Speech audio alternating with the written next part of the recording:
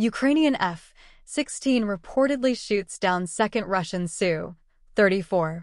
Reports from Russian military bloggers and aviation sources suggest that a Russian Su-34 fighter bomber was downed under mysterious circumstances early this morning.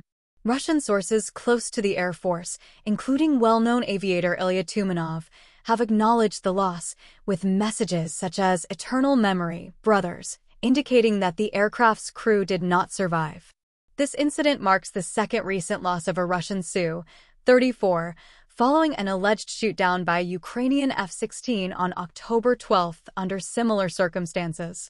Although there has been no official confirmation or denial from either Russia or Ukraine regarding the nature of today's incident, some sources are attributing the latest downing to an engagement with a Ukrainian F-16.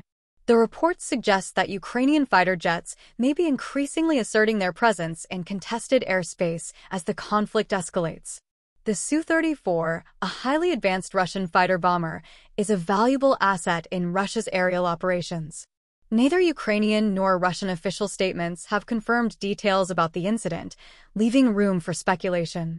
Analysts suggest that the lack of immediate comment may reflect sensitivities surrounding losses of advanced aircraft or the increasing effectiveness of Ukrainian fighter jets.